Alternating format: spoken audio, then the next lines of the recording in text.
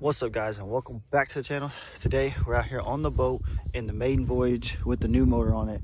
Got a long chat. I've got to show you all the new motor and all that stuff. Show you how the boat's set up. We'll do that boat we'll walk through at the end of this video. But this is um, the maiden voyage with this new motor new setup on it and everything.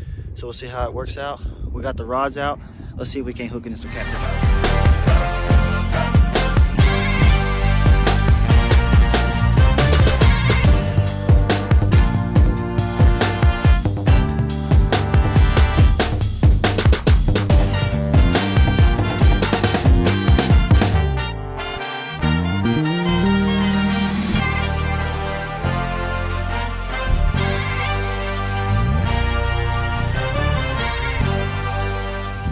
All right, guys, so the boat's fully not completely set up yet, just yet. We still got a couple more rod holders to put on and a couple more things to do to it. They make a little bit more room. Sorry, still trying to get everything straightened. Uh, so right now we got four rod holders out the back. We're gonna take around the guardrail rails on the side of this boat. We're gonna put more rod holders there. But uh, it's got a 670 Predator longtail beaver dam longtail motor on it. Uh, for the size of this is a 1650 or 1672 so it's a little bit wider boat than what they're made for but it still pushes i think we got up to what maybe 15 16 miles per hour in this boat today with it full, full throttle. Um, i gotta install a fuel pump on it. For some reason it's not wanting to pull the fuel.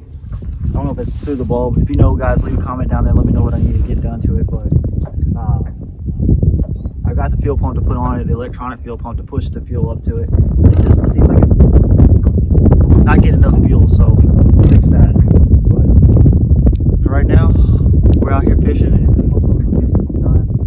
about 50, 48, 50 degrees already this morning. Overcast, cloudy day. Um, so we'll see what happens. Right now we're sitting in about 30 foot of water, fish swimming all around us. So hopefully we're hooking into something good.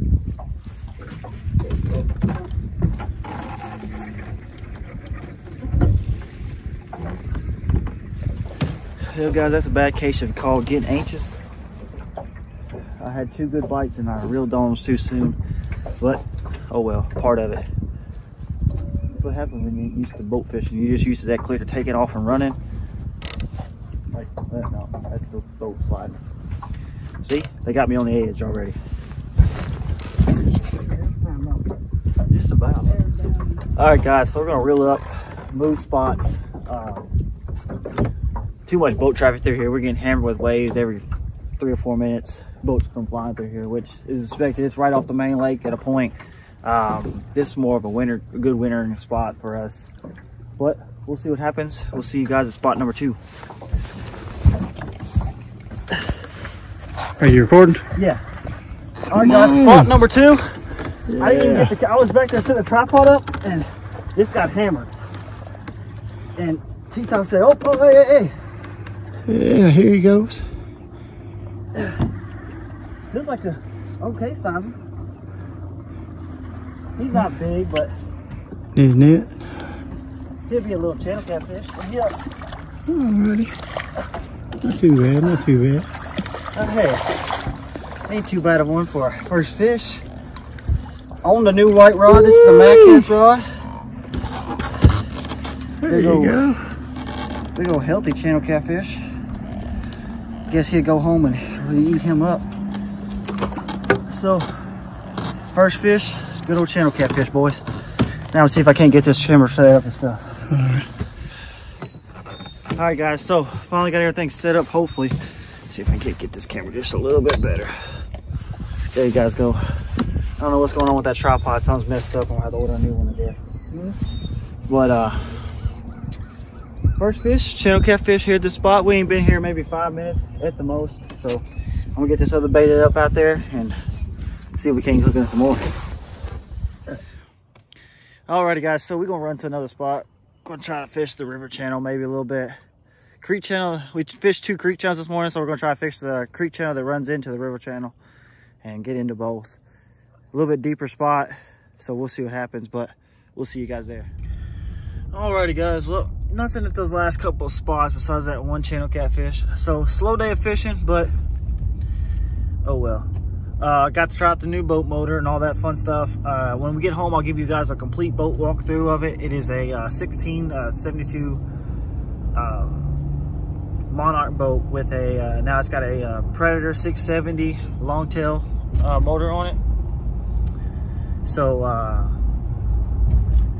when I get home, I'll show you guys a walkthrough. I've got four rod holders on it now. I'm gonna put some more Garmin fish finder on it, but uh, we'll give you guys a full on walkthrough of the bad boy. And that's what we're gonna be fishing out of. So hopefully we catch a lot of fish. Around here, the uh, during the summertime, the, the rivers go way, way down. And that's because they took out a couple of the dams um, to save a mussel around here. So there's some shallow spots that I got to get through to get some good fishing holes, but we're gonna try it out, give it a go. So with this motor, I should be able to get just about anywhere I want to. So we'll see you guys when we get to the house.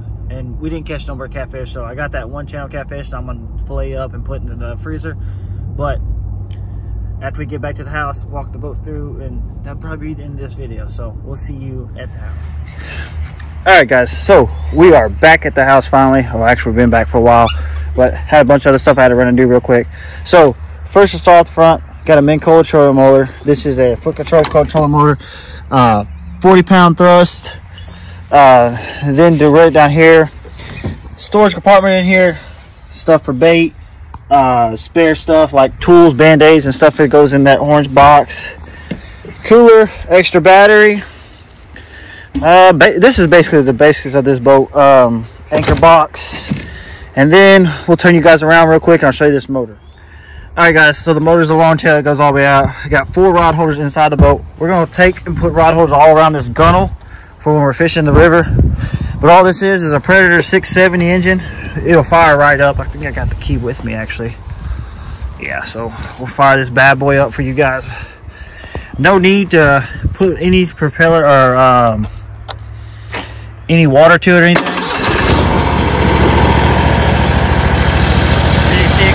That propeller rock back there. It's still not warmed all the way up yet.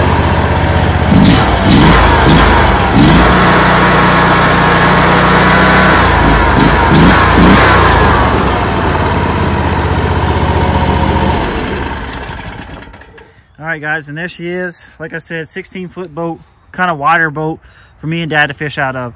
Great looking boat. Uh, Garmin fish finder over there on it. I'm gonna put another fish finder up front, up like right around there, and we'll see how she goes. All right, guys, so we're gonna close this video with a prayer. So, dear God, thank you for this day. Thank you for watching over us, Lord. Thank you for allowing me and Dad to have a safe trip out there.